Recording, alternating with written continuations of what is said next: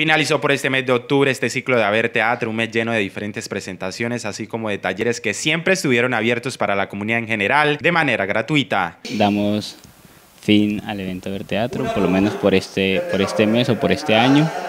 Eh, estamos contentos y tristes. contentos porque realmente el evento tuvo muy, muy, pero muy buena acogida. Eh, cada fin de semana llegó más de 100 personas por noche y para nosotros realmente eso es un logro enorme, un logro enorme para nosotros como organizadores del evento y también como parte de la Casa del Libro Total Barranca Bermeja, que la gente ha llegado a ver teatro.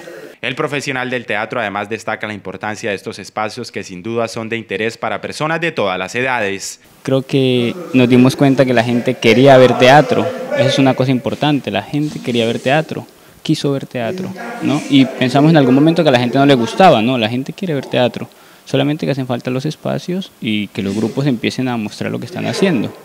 Otra cosa fue la unión del sector teatral, entonces sentimos que cada fin de semana terminaba una función, nos reuníamos a hablar y empezamos a dialogar sobre lo que estamos haciendo, pero también hubo una unión sectorial en la parte de teatro. Entonces eso es otro logro importante. La Casa del Libro Total se prepara para dar a conocer su nueva programación para el mes de noviembre, la cual promete ser de interés para toda la comunidad.